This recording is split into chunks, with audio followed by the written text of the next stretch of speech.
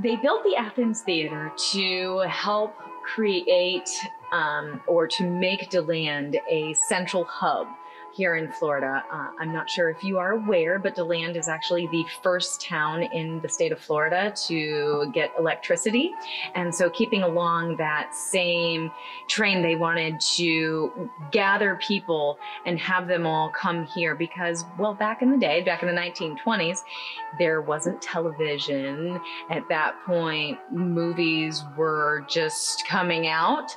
Uh, and one of the biggest forms of entertainment beyond the traveling circuses was vaudeville theater. When Henry DeLand created the town of DeLand, originally it was actually Persimmon Hollow, he wanted this area to be known as the Athens of Florida. He wanted it to be a cultural hub.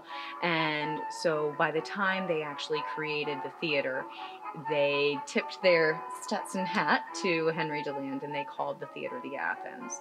The Great Depression, I mean, you couldn't ask for a better time for escapism. I mean, if you look at, at all the, uh, even the songs from that era, I mean, people desperately needed to get out of their head and uh, just to have that, that moment of escapism, that, that moment of magic, just to uh, for, leave your troubles at the door and get lost. The nice thing is the Athens charged very little admission. I think it was nine cents to get in to see, you could stay all day.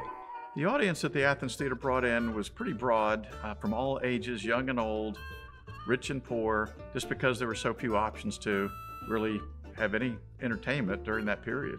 In the 1950s, my father, Joe Fleischel, uh, underwent a major reconstruction of the theater from the inside out.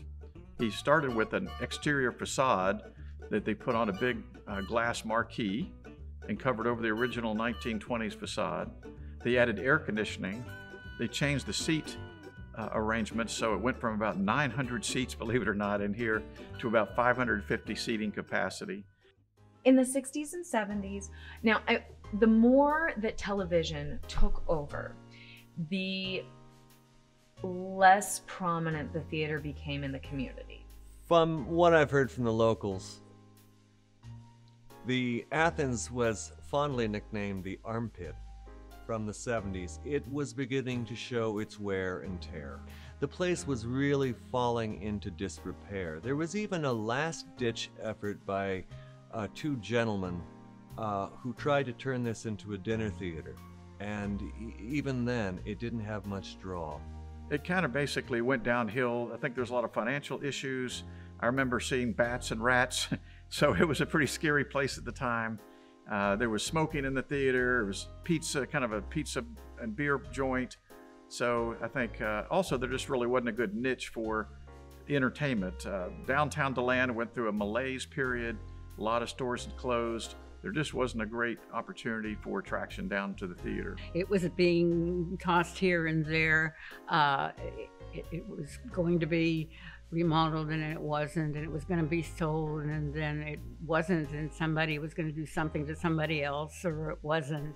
And it just went back and forth uh, like that for, for quite a oh up until uh, there was a decision made to really redo it it did close in the early 90s and it went into disrepair. They ended up taking off the 50s facade, and what was left over was a very decrepit looking place that everybody um, thought was haunted. In 1993, Main Street DeLand Association saw the need to open the theater again, and they formed a subcommittee to try to explore the opportunities. So, what ensued was a $12 million 12 year restoration project. It took a long, long time and a lot of money. And when we were ready to move in, do you know what year that was? 2008.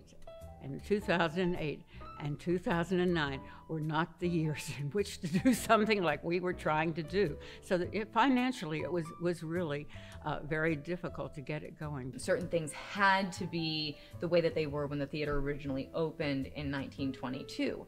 And one of those things was actually the ceiling.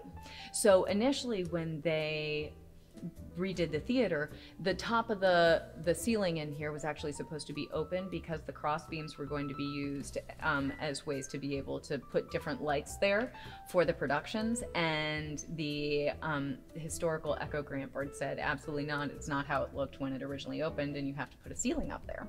And so the theater ended up having to use almost all of their cash reserves that they had put aside to be able to get the place up and actually running once all of the restoration was complete. There were a lot of pundits and people that uh, didn't think it would ever come to fruition. There were a lot of folks that uh, badmouthed the project, thought it was a waste of government dollars, but we prevailed in the long run.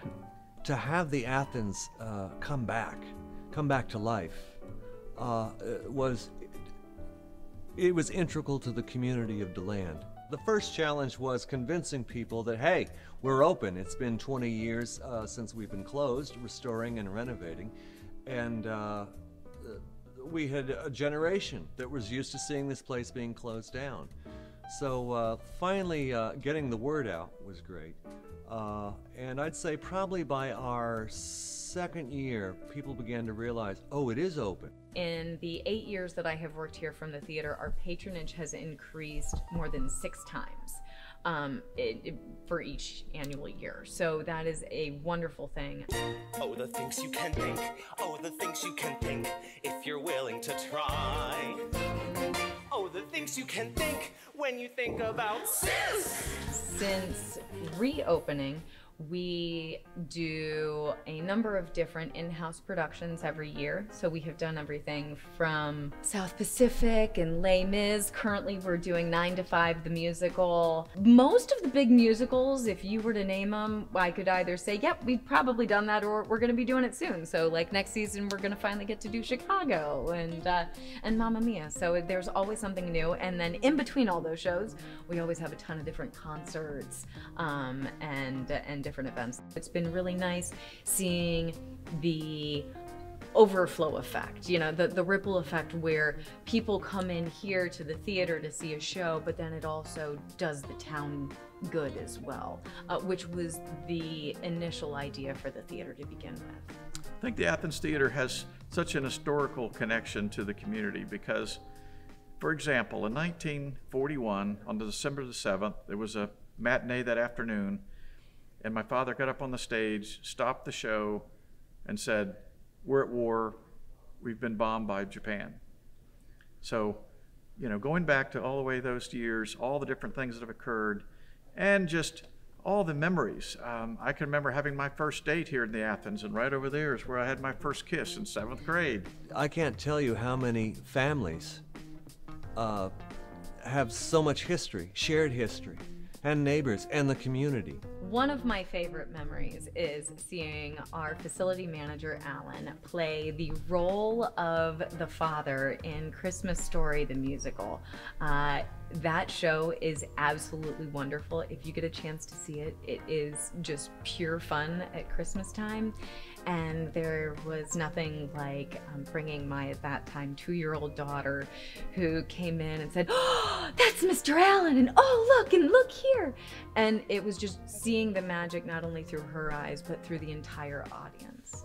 There's a wonderful sense of family, and you couldn't ask for a better place to have that family than in a town that is so unique and so charming. And um, we all watch out for each other, so it's a win win situation for everybody involved.